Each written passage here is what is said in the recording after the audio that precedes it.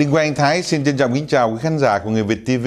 Ờ, thưa quý vị, à, ngày mai thứ Bảy 30 tháng 5 năm 2015, ngay tại phòng sinh hoạt Lê Đình Điều của Nhật báo Người Việt sẽ ra mắt à, một cuốn sách à, tựa đề là Khai sáng kỷ nguyên thứ hai, dự án chính trị dân chủ đa nguyên do Tập hợp Dân chủ đa nguyên trụ sở chính tại Paris um, phát hành. Hôm nay chúng tôi mời quý khán giả của Người Việt TV um, nghe cuộc trò chuyện của chúng tôi với ông Nguyễn Gia Kiểng, là một trong những người sáng lập của Tập hợp Dân chủ đa nguyên. Ông Nguyễn Gia Kiển à, trước năm 1975 đi du học tại Pháp và tốt nghiệp trường Saint-Tran de Paris, là một trường nổi tiếng đào tạo về rất nhiều ngành nổi tiếng của nước Pháp. À, sau đó thì ông về Việt Nam năm 1973 và nhận à, chức vụ phụ tá Tổng trưởng Kinh tế của Chính phủ Việt Nam Cộng Hòa. Khi Cộng sản chiếm miền Nam ngày 30 tháng 4 năm 1975 thì như hàng triệu người khác, ông à, Nguyễn Gia Kiểng đã bị à, giam trong trại tù mà Cộng sản gọi là tù cải tạo 4 năm. Sau đó, một thời gian ngắn ông sống tại quê nhà trước khi à, đi qua Pháp định cư. Ông là tổng giám đốc một công ty tư vấn uh, tại uh, Paris và song song với việc làm việc kiếm sống thì ông Nguyễn Gia Kiểng là một trong những sáng lập viên của Tập hợp Dân chủ đa nguyên. Xin uh, kính chào ông Nguyễn Gia Kiểng. Xin uh, kính chào ông uh, Đinh Quang Anh Thái và xin kính chào quý vị thính giả của Người Việt TV Online. Thưa Nguyễn Gia Kiểng, Tập hợp Dân chủ đa nguyên mà ông là một trong những sáng lập viên nổi tiếng ở trong nước cũng như hải ngoại với hai cái lập trường cốt yếu. Cái lập trường thứ nhất là hòa giải, hòa hợp dân tộc. Và lập trường thứ hai là đấu tranh bất bạo động để giải thể chế độ Cộng sản. Xin đi từng điểm một. Trước hết xin nghe ông nói về hòa giải và hòa hợp dân tộc. Ông và xin ờ, cảm ơn ông một lần nữa để cho tôi được cơ hội để trình bày cái lập trường, một trong những lập trường căn bản của chúng tôi. Trước hết là một điều rất đáng ngạc nhiên và có lẽ cái điều đó nó đã giải thích uh, tại sao đất nước ta lại là đất nước ta hiện nay. Đó là trong lịch sử thế giới chưa hề có một cái trường hợp nào mà một dân tộc nào sau một cuộc nội chiến tôi sẽ ờ, xin uh, nhấn mạnh về ý nghĩa của những cuộc nội chiến. Bởi vì uh, nội chiến nó, nó có một cái sức tàn phá gấp bội so với những cuộc uh, chiến tranh đối với nước ngoài thế nhưng mà tất cả các dân tộc cho đến ngày hôm nay tất cả các dân tộc sau một cuộc nội chiến đều có một cố gắng lớn để thực hiện hòa giải dân tộc. Tại sao vậy? Tại vì một dân tộc sau một cuộc nội chiến cũng giống như là một gia đình sau một cuộc uh, xung đột. Chúng ta có hai chọn lựa. Một là hòa giải để gia đình hoặc đất nước tiếp tục. Hai là không chấp nhận hòa giải và mặc nhiên chấp nhận sự tan vỡ. Cho nên nếu chúng ta không chấp nhận hòa giải dân tộc điều đó có nghĩa là chúng ta mặc nhiên chấp nhận để cái dân tộc này tan vỡ. Tôi nghĩ cái điều đó đó nó không phải là điều mà trong thâm tâm người Việt Nam muốn.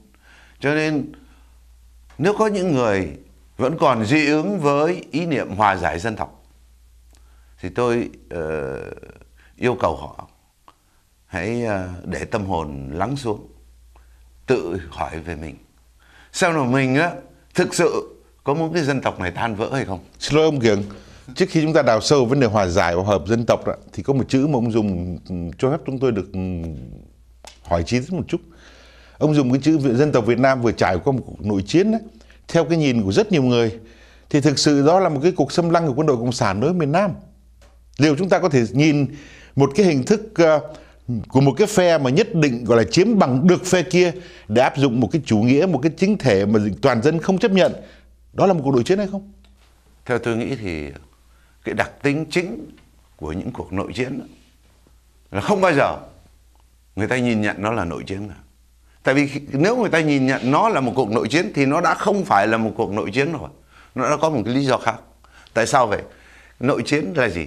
Nội chiến là trong một lúc nào đó người ta cảm thấy có một cái gì quan trọng ghê gớm quan trọng quá tới cái mức mà cái tình đồng bào hay cái sự kiện cả hai bên đều đứng ở trong dân tộc nó không quan trọng nữa. Và người ta thường thường người ta đều nói rằng đây không phải là một cuộc nội chiến mà chính nghĩa là hoàn toàn về tôi. Tôi hoàn toàn là anh hoàn toàn vô lý. Cho nên đó, đây không phải là một cuộc nội chiến mà đây là một cuộc uh, hoặc là một cuộc chiến tranh để giải phóng dân tộc hoặc là một cuộc uh, chiến tranh để bảo vệ một cái lẽ phải hoặc là một cái gì cao cả hơn. Cho nên đặc tính cái việc mà ông nói là người ta có những người nhìn nhận đây không phải là một cuộc nội chiến. Thì không có nghĩa là không có nghĩa là đây không phải là một cuộc nội chiến mà nó chứng minh rằng đây quả nhiên là một cuộc nội chiến. Nhưng mà ông cho phép tôi nói thêm một câu không? là vì trong khi có những người nói rằng cái cuộc chiến uh, 1945 1975 hay là ít nhất cái giai đoạn 1960 1975 không phải là một cuộc nội chiến, mà là một cuộc chiến tranh chống sự xâm lược của miền Bắc. Đó là người, có những người nói như thế, những người mà ta có thể nói là những người, đa số là những người bạn tôi thuộc vào cái phe Việt Nam Cộng Hòa. Nhưng mà ngược lại đó, cũng có những người những người thuộc vào cái phe cộng sản. Họ nói rằng đây không phải là một cuộc nội chiến, mà là một cuộc đấu tranh chống đế quốc Mỹ xâm lược và bọn Tây Sai. Thế nhưng điều đó tôi lưu ý rằng trong cái cuộc nội cái lý do khiến anh em đồng bào giết nhau người ta luôn luôn viện dẫn một cái gì đó cao cả lắm. Vâng, vâng. đó là đặc tính của bây giờ bây giờ bây giờ coi như là tạm thời ờ, cái định nghĩa đó là định nghĩa của Nguyễn Gia Kiển về cái cuộc chiến hình thái cuộc chiến tranh vừa qua. Nhưng mà trở lại cái vấn đề hòa giải hòa hợp dân tộc đó thì ông nói trong một gia đình nếu mà trong anh em mà không hòa giải lẫn nhau thì gia đình tan vỡ. Uh, sau một cuộc xung đột. sau một cuộc xung đột. Thì người ta phải chọn có chọn lựa một là hòa giải để cuộc sống chung tiếp tục hai là không hòa giải và chấp nhận tan vỡ. Thế cái còn vấn đề hòa hợp. Hòa hợp thì nó là cái mục đích mục đích cuối cùng. Chúng ta tại sao chúng ta phải hòa giải? Chúng ta hòa giải để tiến tới hòa hợp dân tộc vì nếu chúng ta không muốn hòa hợp dân tộc thì tôi nói thiệt cũng chẳng nên hòa giải làm gì. Vì cá nhân tôi mà nói nữa khi nghĩ về những gì mà những người cộng sản đã làm cho đất nước, hay đã làm cho cá nhân tôi, hay là làm cho gia đình tôi thì sự thực, tôi cũng không muốn hòa giải. Chẳng qua tôi muốn hòa giải là vì tôi muốn thực hiện cái hòa hợp dân tộc. Bởi vì một dân tộc mà không có đoàn kết, không có hòa hợp thì cũng như là gia đình không có không Đấy. có hòa thuận chúng ta sẽ không có một tương lai nào hết dạ vâng Đúng không? thưa ông ờ, chúng ta học một bài học cay đắng trong cái lịch sử cận đại của Việt Nam đó là bốn cái chữ hòa giải hòa hợp dân tộc nó đã trở thành một cái chiêu bài mà cộng sản Hà Nội đưa ra ròng rã trong bao nhiêu năm lúc mà chiến tranh lên cao điểm và mục tiêu của họ là là họ muốn uh, mờ mắt một số người miền Nam mà lúc đó cả tin rằng với cái chính sách hòa giải hòa hợp dân tộc đó thì ờ, có thể giải quyết cuộc chiến Việt Nam một cách êm thấm mà không đổ máu nữa.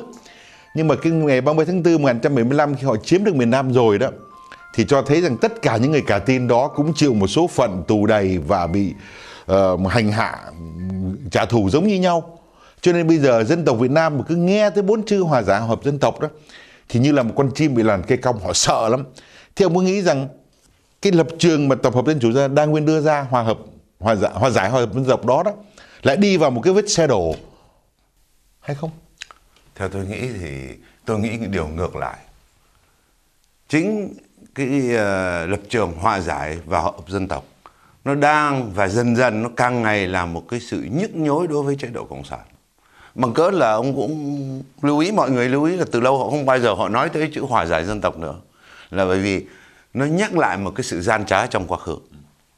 Họa, tại sao phải có hòa giải dân tộc như như chúng ta vừa thảo luận và như tôi vừa trình bày đó là chúng ta phải có hòa giải bởi vì sau một cuộc nội chiến, chúng ta chỉ có một chọn lựa, một là hòa giải để cái cuộc sống chung, tức là để đất nước tiếp tục.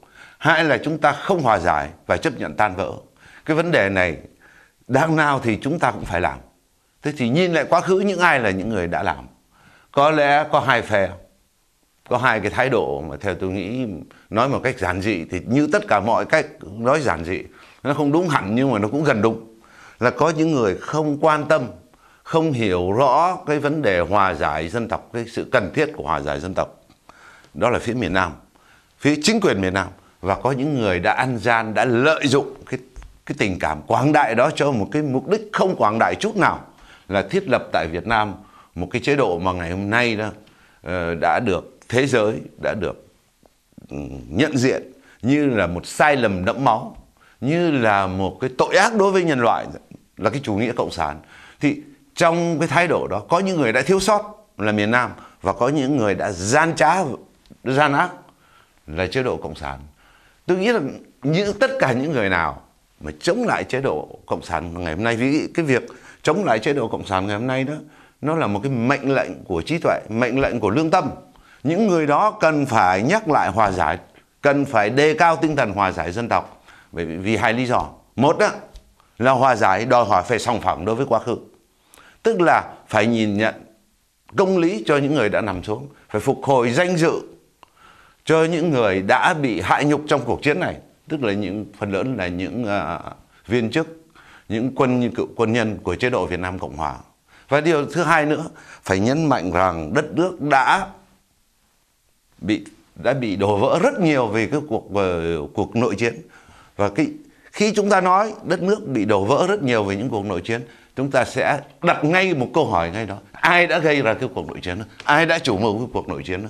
tôi nghĩ rằng nếu tất cả những người đối lập Việt Nam mà đề cao cái tinh thần hòa giải dân tộc thì họ sẽ đặt cái chính quyền cộng sản ngày hôm nay vào một cái sự lúng túng không có lối thoát. Vâng.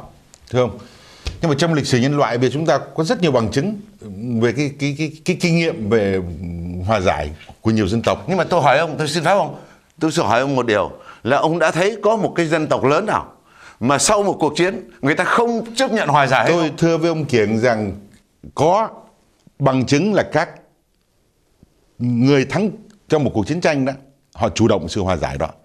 Tôi đưa thí dụ cuộc chiến ờ, nội chiến tây ban nha ừ. thí dụ đặc biệt là cuộc nội uh, cuộc nội chiến ở nước mỹ ừ. nhưng mà cái phe thắng trận của đại tướng Grant lúc đó là chủ động cái việc hòa giải và họ thực tâm muốn hòa giải còn đằng này khi ông đặt vấn đề hòa giải với một cái chế độ mà nó không bao giờ nhìn nhận cái quá khứ sai lầm của nó và nó cũng không chủ động cái việc hòa giải đó một cách thực tâm đó thì ông nói chuyện với đầu gối à không chúng ta nói là chúng ta nói cái gì đúng cái gì cần cho đất nước vì cuối cùng một cái cái lập trường đúng cho đất nước nó sẽ là cái lập trường được nhân dân chọn lựa. Cho tôi cái ngắt, ngắt, ngắt lời người ông ngay ông chủ trương hòa giải hòa hợp dân tộc. Nhưng mà với đảng cộng sản hiện nay họ vẫn tiếp tục bảo vệ cái vị thế cai trị độc tôn của họ. Họ vẫn bảo vệ một cái chủ nghĩa họ cũng chẳng tin đâu. Một cái chủ nghĩa đã bị nhân loại vứt vào thùng rác rồi. Họ bảo vệ cái cái quyền lực của họ để mà họ tiếp tục ăn trên đầu dân tộc đó. Ông có hòa giải với những người đó không tôi nghĩ rằng tinh thần hòa giải phải mở rộng cho tất cả mọi người kể cả những người đó.